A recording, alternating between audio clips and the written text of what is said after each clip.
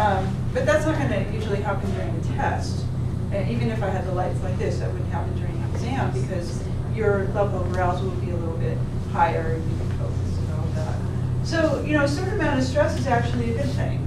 And the, the, the key is finding that balance or finding that level of stress that works for you. Um, you know, there are good sources of stress, and when you think about stress, any kind of change. So what are some good things that happen in our lives that may be considered stressful?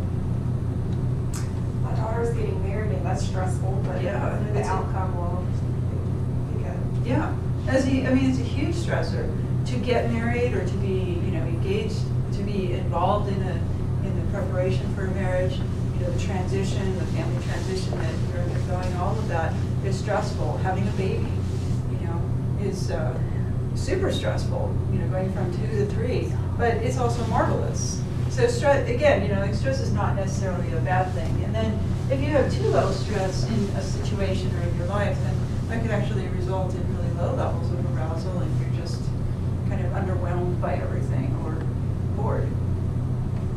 Too much stress can cause all sorts of things, and I'll talk about them in more detail. Um, you know, just too high a level of anxiety, and then all sorts of physiological and behavioral symptoms that can go with it and interfere with your ability to do well on anything from taking a test to, you know, doing more complicated things in life. So in psychology, we look at um, what's called the general adaptation syndrome, or the GAS. It's called the, the GAS. And it's a three-stage process to um, stress. So you look at the first stage, which is the alarm reaction. And um, I'll share with you a goofy little story from when I was a kid. Um, I was, it was Halloween, and uh, we like, you know, kids, we didn't have like cell phones and things back then, so we had to come up with other more mundane ways to entertain ourselves. And being kids, we thought we were very clever and didn't think about the fact that adults might think ahead. You know, kids are not very good at that. So we played Ding Dong Ditch. And we're going along this, this street, we're Ding Dong Ditch. And um, sure enough, the adults had called ahead and said, hey, these kids are coming around, be prepared. And so some guy decided to hide in the bushes, waiting for us. And when we got to that approach, near that house, dark, and this guy jumps out of the bushes and scared the, I mean, just, you would not believe, I've never run so fast in my life. I ran like a cheetah, right? You know, or I ran like a gazelle being chased by a cheetah, right? And so, and that's that fight or flight response. I mean, that's exactly what happened. I really, I took off running. Did I think about what I was doing? Not at all. Did, and was, you know, like there's just no awareness of what's going on around you. It is just a, an instinctive, and your adrenaline is pumping, and you have all this energy, and you're just like go, go, go. Heart is racing, right? All the, all of the things that happen when you have that alarm reaction. And was it helpful to me in the situation? Yeah, I mean, it got me out of what I considered initial danger, you know, where the cheetah was going to pounce on me, so I had to save myself. Um, now, if I were, could, could I continue like this? No, right? You, I mean, you just can't. Um, oops, I didn't mean to go that far. So then we took, we look at stage two, right? So if this is called adaptation, and if the stress continues, you'll find that you know, the body will adapt under, to a certain extent. It will do its, it, the, the body will do its best to survive, essentially. And so if you look at like a case of starvation, if you are, if you are malnourished and you're not getting enough nutrition, your body will continue for a time to um, exist under these subpar conditions, right? So the person would experience um, maybe a reduced desire for physical activity in order to conserve energy. Okay, but are we, are we again? Could we continue like this forever? Could you continue with that lower standard? And what's going to happen eventually? You're going to drop, right? I mean, eventually, there's nothing left. right? And, and I think a lot of us experience this, especially working in this kind of an environment when we have, uh, when we have this semester environment. And we start off the semester, and it's sort of an alarm stage, right? Because it's, but it's like a positive one. It's that energized, we're energized, we're ready to start, and we have all that energy, and we're kind of like going, going, going. And then we get into that second stage, which is that resistance stage. That happens, I see this with a lot of students, and I see it with myself too. That somewhere kind of mid-semester, you know, we're like going, going, going, but we don't quite have that same level of energy, but we can't really, in our minds, afford to, to drop, right? Because we still have the same number of commitments. And then what happens at the end of the semester with, you know, with so many students, especially, you get to the end, and then it's just like people are just dropping with colds and flu and you know, all, or just exhaustion and sickness and all sorts of things. And a lot of that is because of this this process. You know, you've just been going so hard and for so long, and your body just kind of gives out. Right. So stage three, exhaustion. The stress persists for a long time. Your um, immune system may be compromised, body resistance compromised, and then you know, if you look at people who are really experiencing long-term chronic stress, see, we are not designed to be like a gazelle being chased by a cheetah all the time, all the time, all the time. But a lot of us tend to live in that kind of an environment. And modern, uh, modern society kind of sets us up for that type of environment.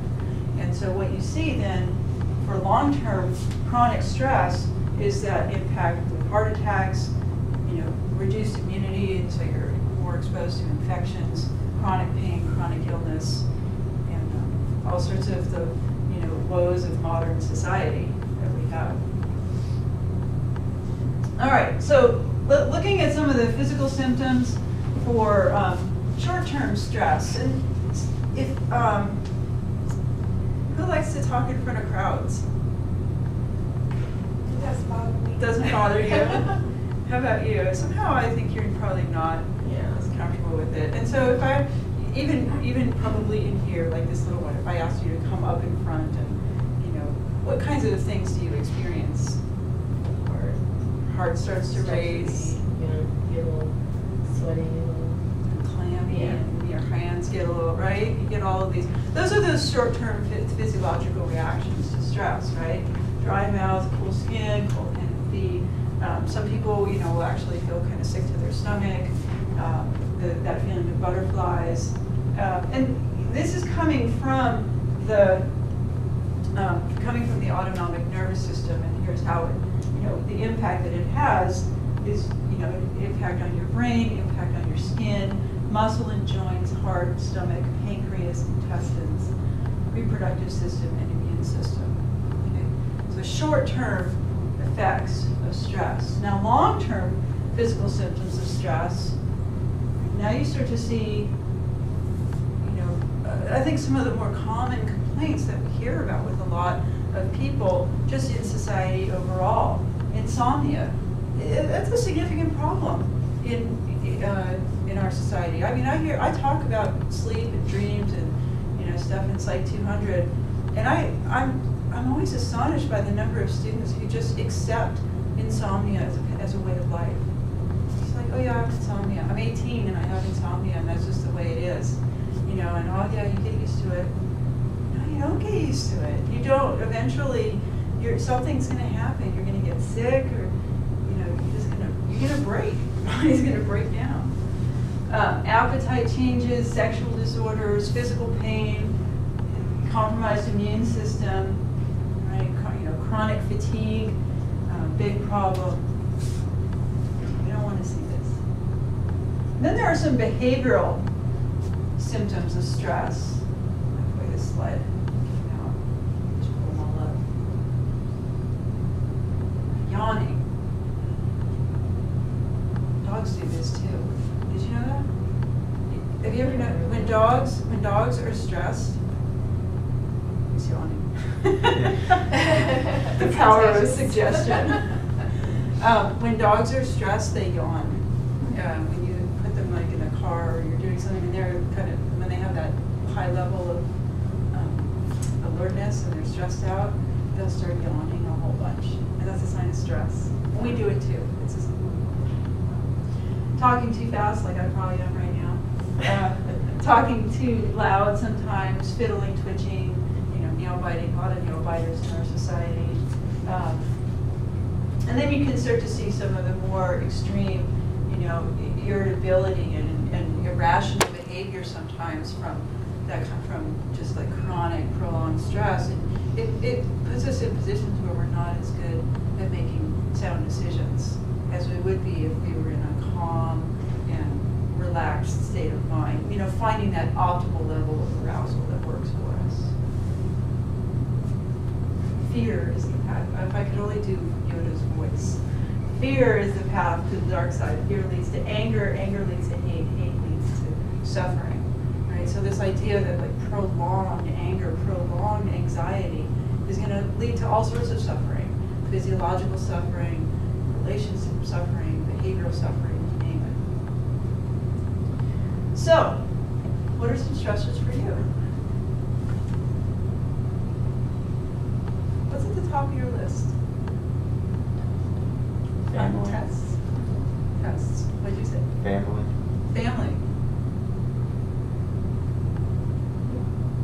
Probably family, social. Family, social, Work, work. family. You know. yeah. All of the above. All of the above, right? So, so school. I mean, school is a huge source of stress, and it's um, and it just doesn't go away. You know, like school is there. You can't make the tests go away. You can't make the homework go away. You can't make the assignments go away. So what we have to do instead is find better ways to um, to, to approach these tasks so that we don't experience the same levels of stress and anxiety.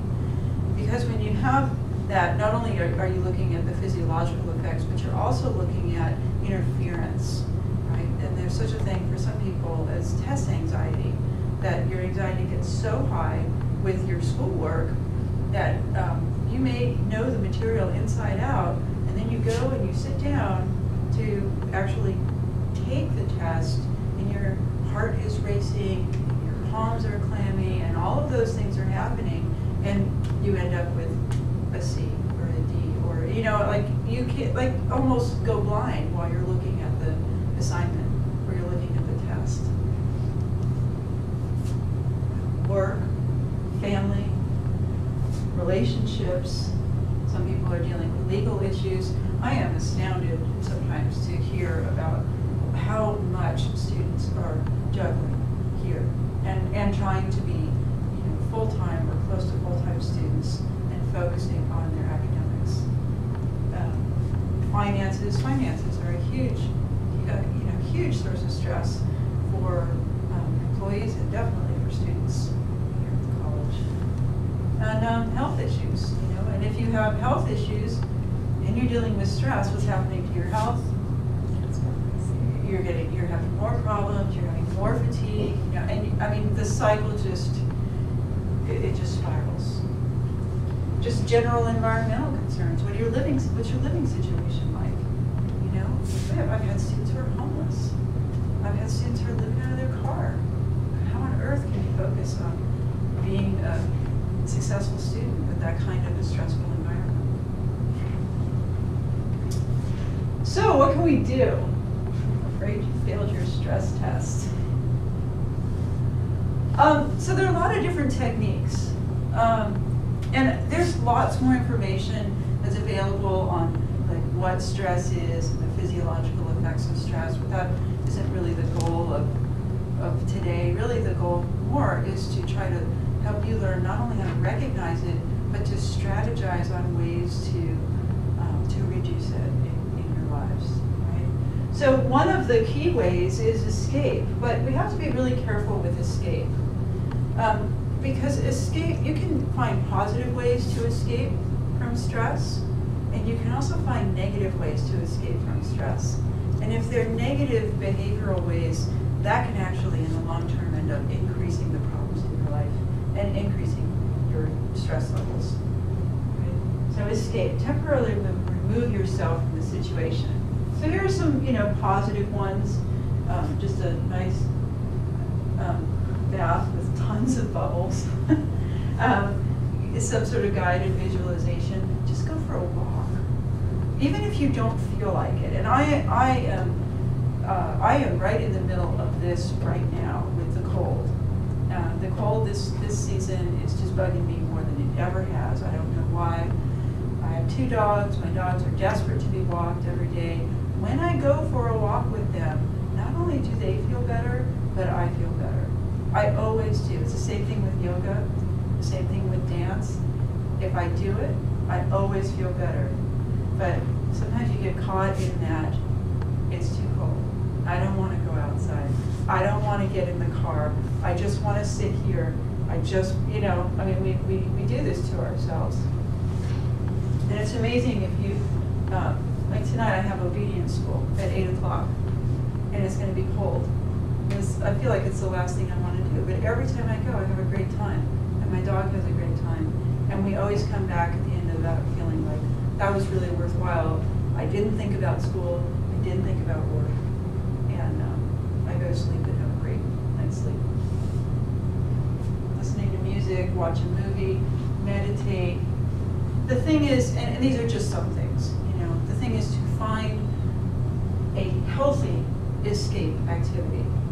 Because there are a whole bunch of unhealthy escape activities. And young people are, are, I think college students are particularly susceptible to a lot of these unhealthy escape activities that are available to us. Now, here's another one, you know, that I think is so important, is time management. Um, So Eric, I'm just curious, are, do you work on top of being a student? Very little. Very little. I'm your perfect example of being way too stressed. I have the chronic illness. Half the things you listed up there. Yeah. But you're not working, you're, you're going to school, but not, you don't have work hours that you're trying as well. That's good. That, that's a good thing. It's more if a friend needs help with something, it's just a mm-hmm. few hours. It's not a set schedule. Okay. Um, so a few hours here, a few hours there, and then next thing you know, the day is gone, the week is gone, things kind of pile, pile up. Yeah, I mean, time management is difficult for, uh, for everybody.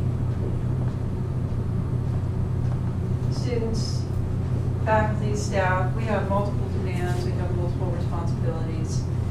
Um, I know I feel like this all the time. I feel like there should be three of me. So how, you know, what, what can we do? What can we do to try, we get, we get twenty-four hours in a day. You can't change that. And there's only one of us in those twenty-four hours. You can't change that either. So what can you change? And that's, that's the thing to focus on. What could you change in that twenty-four hour period to make you feel less frantic?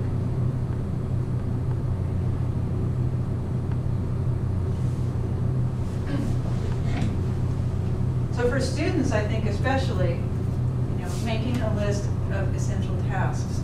Beginning of the semester, I, um, I, I, I spent part of my first day actually just talking about this and about how we learn and how, uh, how our, how our brains work and the importance of spacing.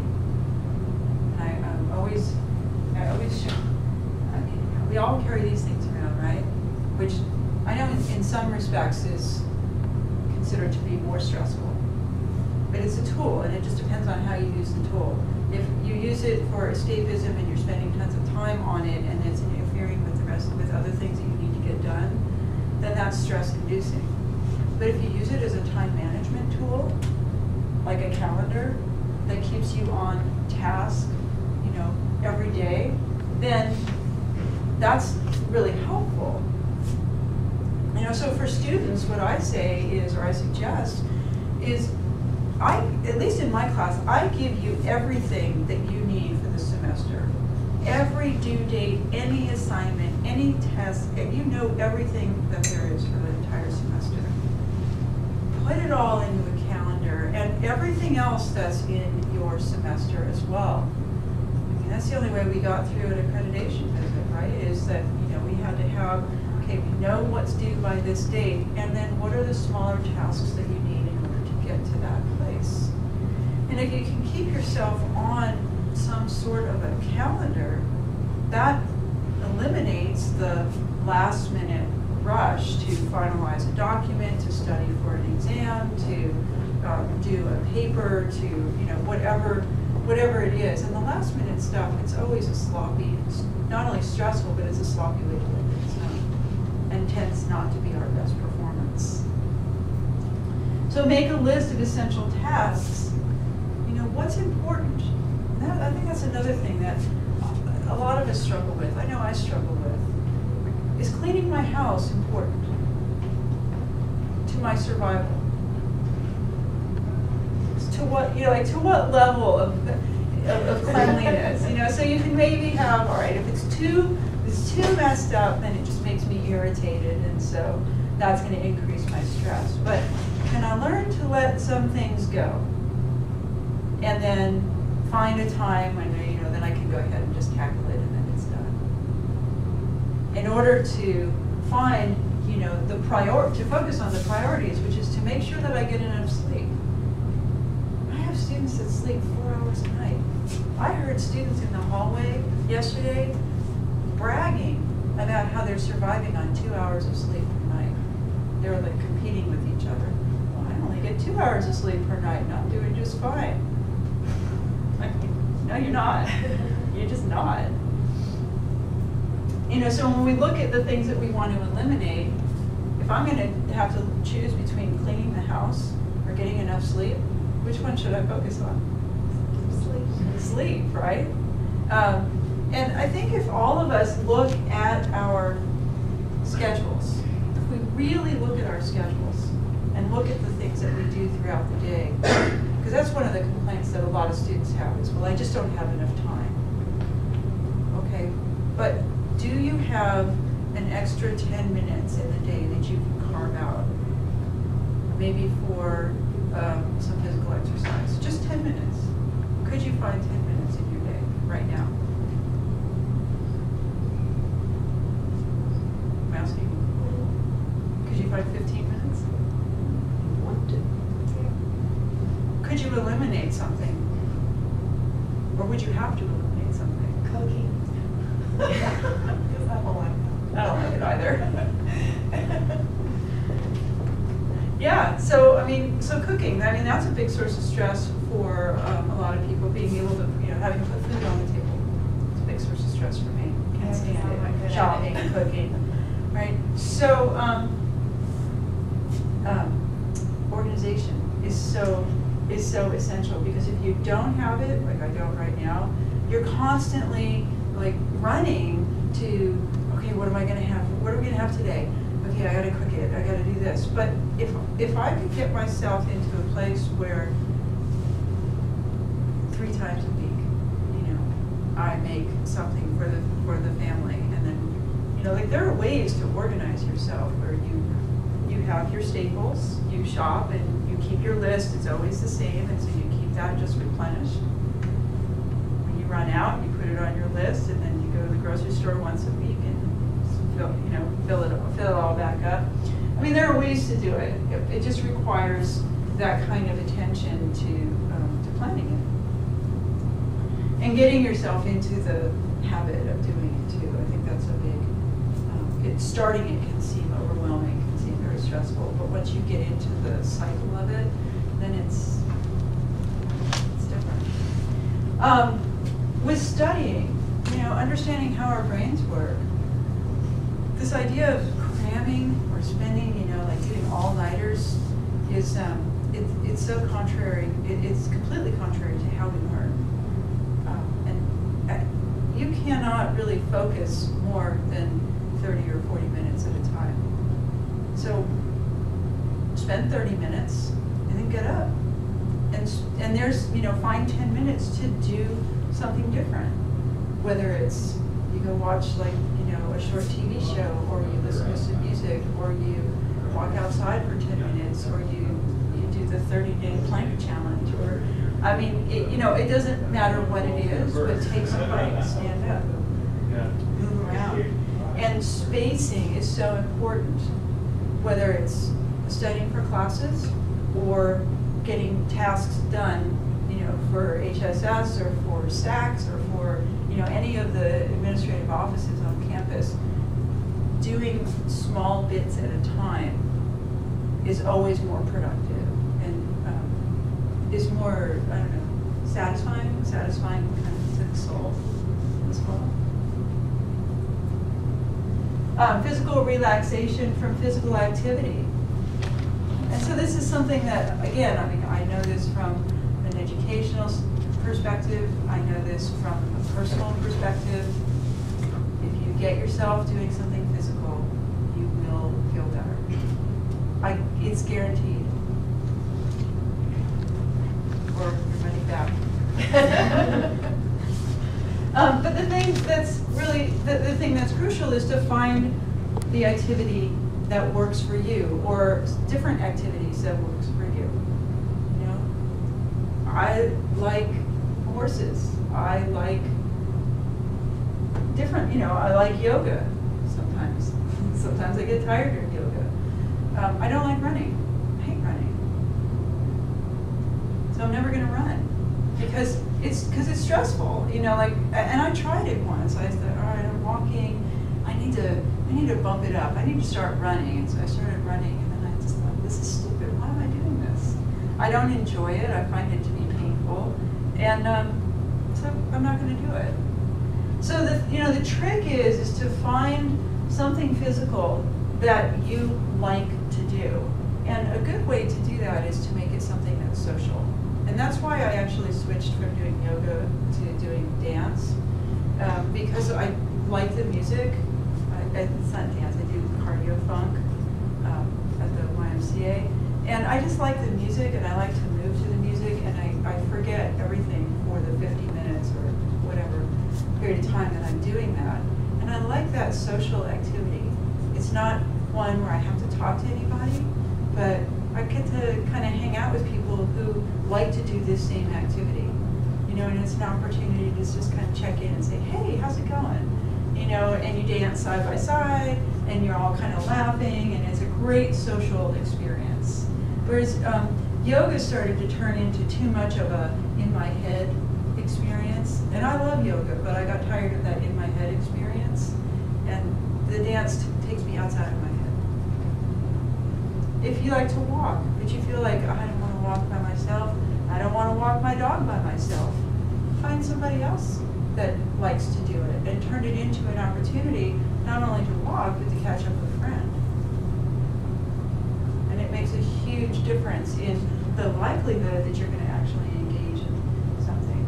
I know that the college has tried to do things in the past. There have been some challenges coming from human resources. And for a while, we used to see people um, walking around Merritt Hall, and they would do it in partners.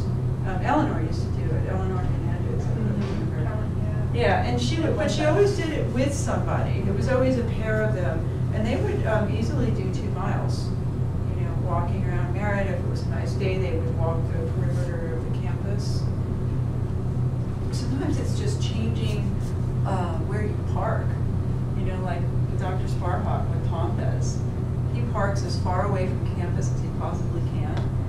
When you um, drive, Eric, when you drive out, if you drive out on uh, to- on uh, to Ward's Ferry. Ward's Ferry Road, and so that lot that's there, and there's always, there's a little uh, Volkswagen that's the furthest spot away from campus, and that's our sociology professor, Dr. Sparhawk.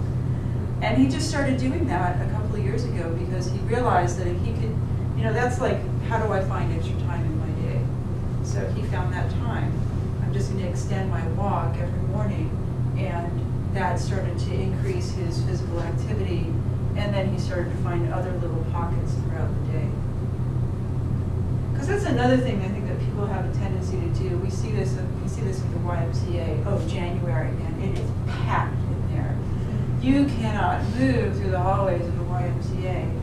February, it starts to thin. By March, you're right back down to the average numbers. People, that get, they, they set these goals, like, I'm gonna do it, you know, and, and then, um, and then they get tired or they slip one time and then they're like, oh, forget it, you know, I guess, I guess I'm not meant for it, or I just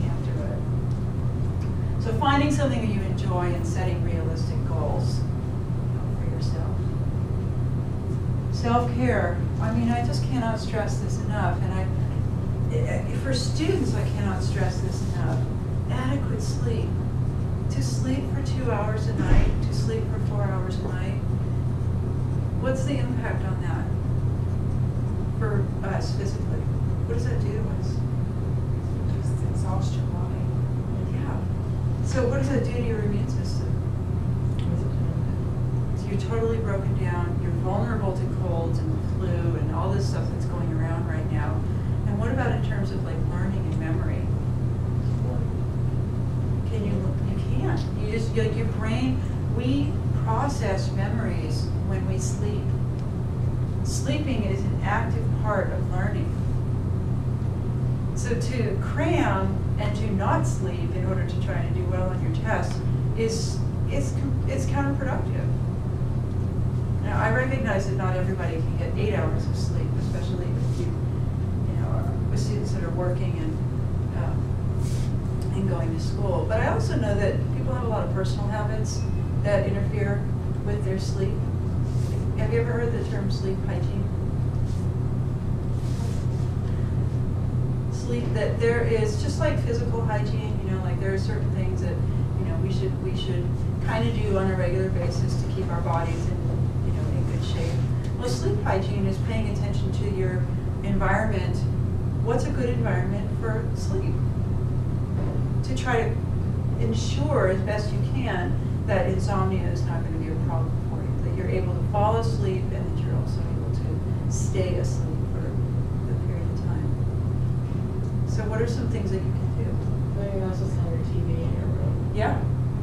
You shouldn't have any, really, like, any electronics in the bedroom. Um, Now, I, I keep this in my bedroom, but I have it set, because I use this for an alarm.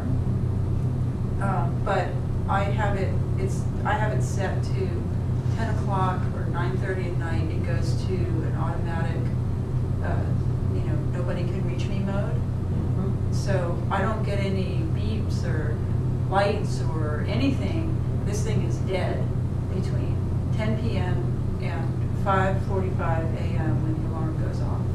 Unless I pick it up and go to look at it to check the time, but I don't get any interruptions from it. So I think, again, you know, it's like, it's a tool, it depends on how you use it, but to, in general, technology should be out of the bedroom um, I was just talking with some students the other day about this, and the student said, well, I use the TV for background, this is a student who has terrible insomnia, and she says she cannot sleep unless the TV is, because it's the background noise, right? So what, you know, what could you do instead of having the TV in there?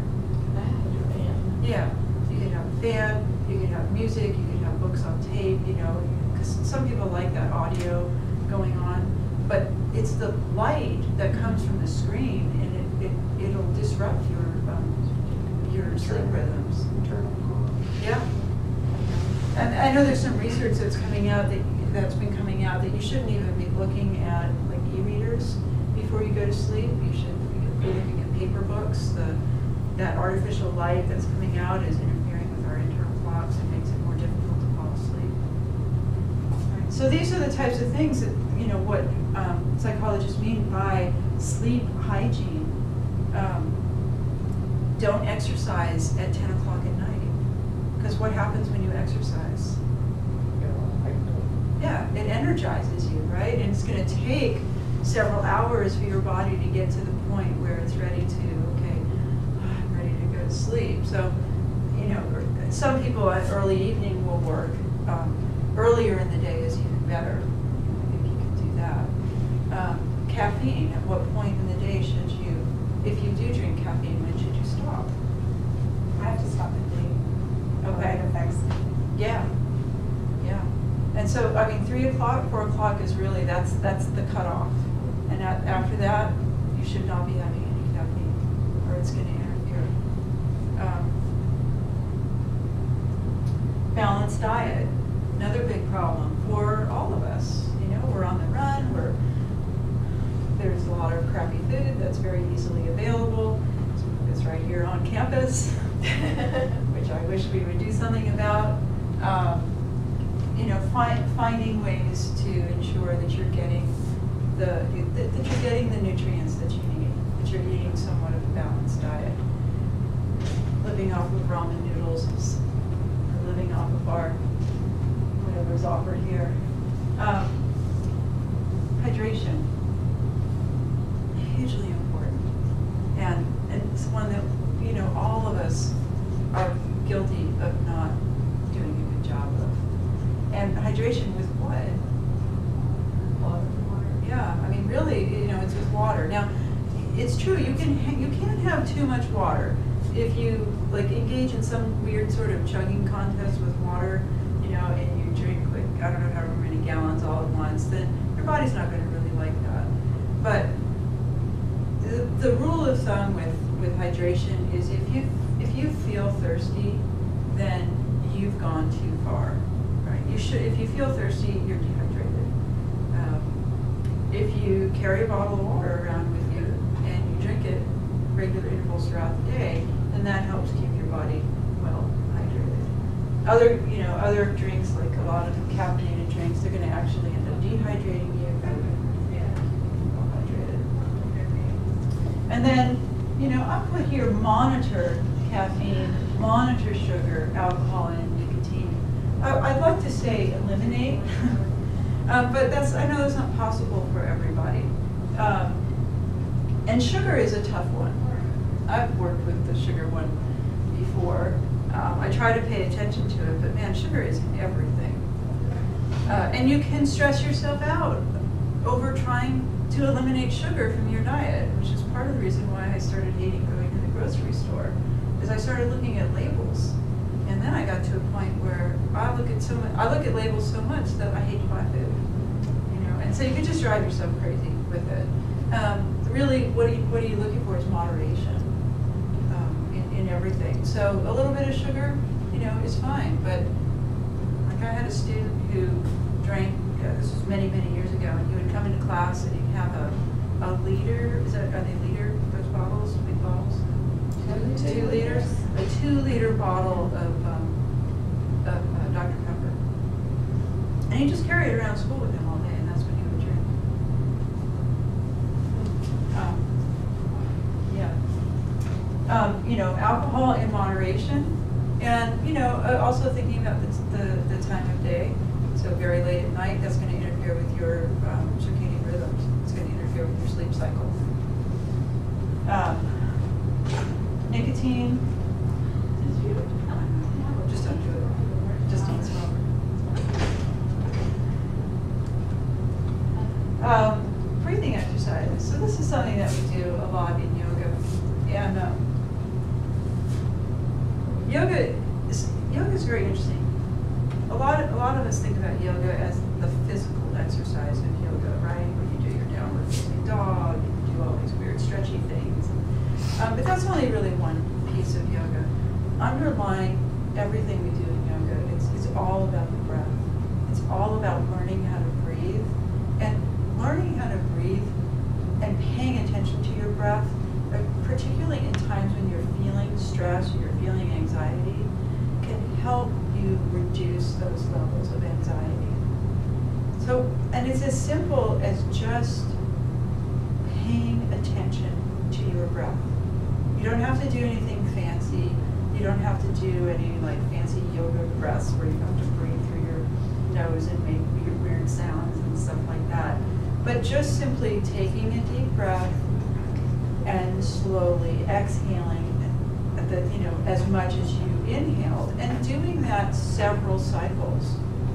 If you did that for five or six times in a row, that's going to calm the autonomic nervous system.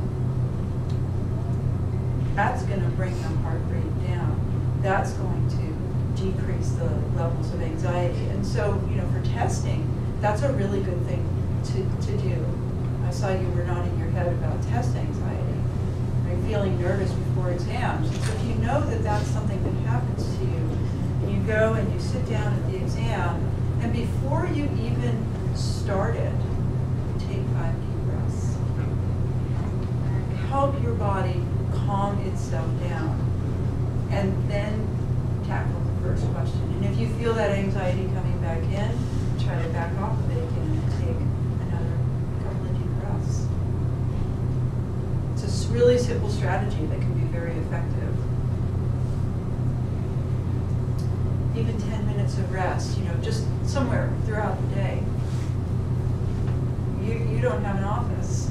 So that's part of where I think a lot of your stress can come from is you can't get away from us.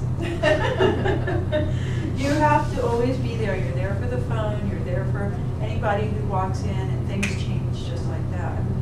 Um, So, you know, in your case, you need to, you need to walk away from that area and find another spot to eat your lunch or to go for a walk or something, you know, and, and something that's just for you, not, that's not for HSS and not, you know, not for all of us that have so many demands on you. I think you have an office, right? So you can close your door. Yeah. Yeah, I can close my door too, like, leave me alone. Um, Ten minutes can make, uh, uh, make a big difference. Just go someplace, sit quietly, close your eyes, regroup. And again, can you find ten minutes in your day that you can reclaim just for yourself? I think, and I think anybody can do that. Social support, right? All of us feel, all of us, myself included, when you get into these ruts or you get into high, high stress levels or the holidays or the winter blues or whatever it is that's going on, we, we all feel like all alone with it. But the reality is, of course, we're not. Lots of people are experiencing the same difficulties in life that we are. So somehow finding a way to reach out and get some social support, spending some time with others. We have resources here at the school. Um, We don't have as good of resources as I would like us to have. We don't have counselors that, you know, deal with mental health. But we do have counselors that are here. Um, We have faculty that are here that I think could be a wonderful source. I love having students come in and chat with me about whatever. I think a lot of faculty. I can't speak for all, probably not all faculty, but lots of faculty do, do enjoy it. And that can be a really great source of social connection for students on campus. It's something that the community college really lacks. Students are kind of, you know, being a commuter campus, it's hard for students to make that connection with faculty that you get at a four-year when you're on campus and you're supposed to build those relationships. So, so there's some things that you can do. And then the last thing is challenge negative thinking. This is a really tough one. Um, This is just one statement, like this is an example of negative thoughts. What happened, this is a, you know, that glass half empty, glass half full, however you look at the world. Not, neither way is, is better or worse. Um, I'm not, I'm not uh, promoting uh, constant optimism, because that can actually be stressful. Like if somebody's always, like I'm the kind of person that I tend to be um, kind of even, I'm not a super joyful person. And I, I will have people um, sometimes stop me on the street or say something, they'll look at me and they're like, smile. You know, like somehow they think I'm, I'm depressed, and I'm not depressed. It's just who I am. I'm kind of a more, I don't know, that's how I, how I present. And so for people to tell me to try to uplift myself is actually stressful, because I'm actually pretty happy. It's just, that's how I approach the world. Other people are way up here. It, now if you're depressed, that's, you know, you're dealing with depression, that's a little different. So half empty, half full, it just depends on your perspective. Um, But this idea of negative thinking, th- this is a a rationale for depression. And if you've ever heard of cognitive behavioral therapy, this actually tackles um, the negative thoughts that people will engage in and strategies to try to pull yourself out of the cycle of negative thinking. So if you have like a very broad statement, which a lot of us tend to do, like, oh, I just cannot do this. Oh, I'm so alone, you know, or I have no friends, or some kind of blanket statement like that. Where can you punch a hole in that statement? Is there, uh, if you're feeling very isolated, can you challenge yourself to find a hole in that, like, I'm, all- I'm all alone. Well, actually, know, I do meet with this person, or I do talk with this person sometimes, and we have a pretty good relationship. Okay, boom, I just punched a hole in that statement there. So it's not a, so it's an incorrect statement. What happens with negative thinking, and, um, and, this is a powerful model for how depression occurs, and certainly depression and anxiety, you know, and stress, I mean, these are all rolled in together. You, if you think about a day when you had a really bad day, things have just not gone well, and you're tired, and somebody says something to you, it could be something, you know, neutral, sort of neutral, it's not really positive, it's not necessarily negative. How are you more likely to interpret that statement? in a negative way, right? You know, and we're more sensitive to criticism and we're more likely to kind of react to things. And then, how does it make you feel? Right? You kind of feel worse, which makes you then more vulnerable to these statements, which makes you feel worse. And then, and this is the downward spiral into, um, for, for some people, is a downward spiral into depression. So, so therapies that are aimed at this are, you know, we can break a hole in that negative thinking, then we can start to come out of that spiral and actually, you know, be on a more, neu- more neutral or more positive ground. And so what, what you, you know, what you would have to do as individuals, if this is something that applies to you, is, you know, are, are there statements that you tend to throw on yourself, that you tend to blanket on yourself, and that become more,